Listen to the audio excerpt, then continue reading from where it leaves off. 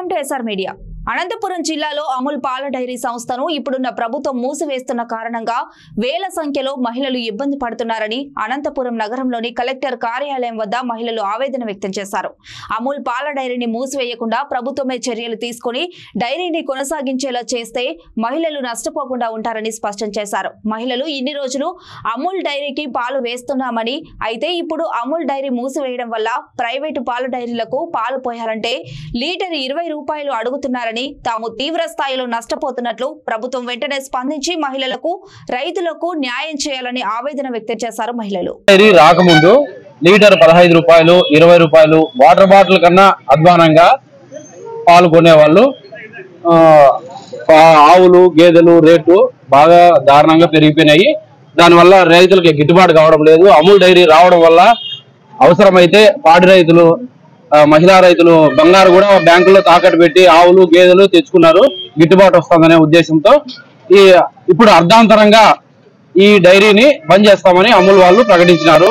దానివల్ల పాడి రైతులు దిగ్భ్రాంతి చెందుతున్నారు. ఇక అందులో సొసైటీ సెక్రటరీలకు కూడా ప్రాబ్లమే. మేము ఎక్కడ పోయాలి పాలు? ఎవరు తీసుకుంటారు?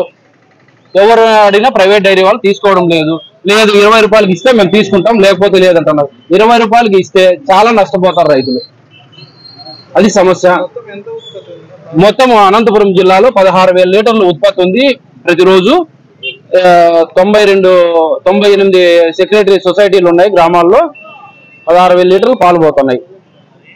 దాదా దాదాపు ఏడు వందల యాభై మంది రైతులు పాల్పోస్తా ఉన్నారు ఇప్పుడు. ఇప్పుడు రాచానపల్లిలో ఒకటి బిఎంసి ఉంది కొర్రపాడులో ఒక బిఎంసి ఉంది.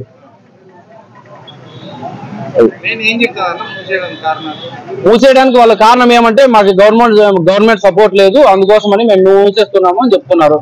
ఈ వాళ్ళు కూడా ఏకంగా నిన్నటి రోజు నుంచి మేము ఎలాగో తీసేస్తున్నాం కదా అని ఉంటే ఉండని పోతే పోనీ అని వాళ్ళు కూడా రేటు తగ్గించేసినారు మాకు.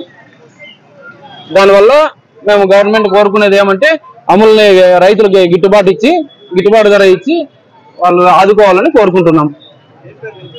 నా పేరు నీలపాల నాగరాజు రుద్రంపేట.